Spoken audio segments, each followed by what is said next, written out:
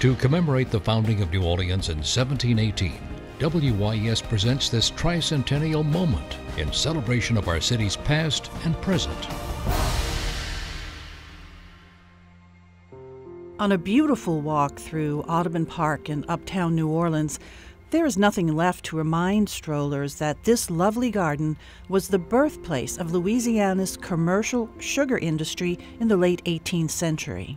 Other than the magnificent groves of live oaks, the once expansive indigo and later sugarcane plantation of Jean Etienne de Boré remains only in history. De Boré, a Frenchman born in the Illinois country to an aristocratic French family, arrived in New Orleans in the 1770s during the city's Spanish colonial era and quickly made his mark.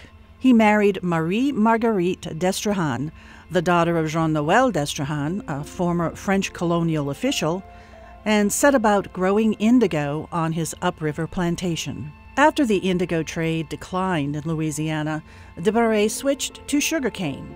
Although the Jesuits and others had grown sugarcane in the colony for many years, to make syrup and a strong alcoholic drink called tafia, it was de Boré, with the help of immigrants from Saint Domingue, who introduced the refining and granulation of sugar to the colony. As a result, de Boré built a sizable fortune, and his success stimulated the rapid growth of sugarcane cultivation and processing throughout South Louisiana.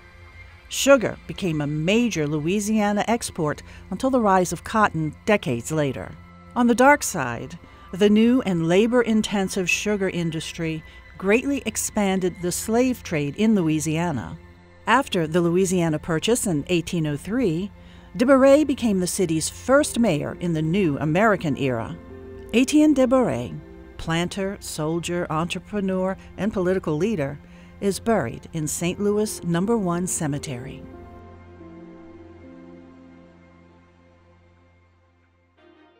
WYES's New Orleans Tricentennial Moments are brought to you by the Meraux Foundation and presented in association with the Historic New Orleans Collection.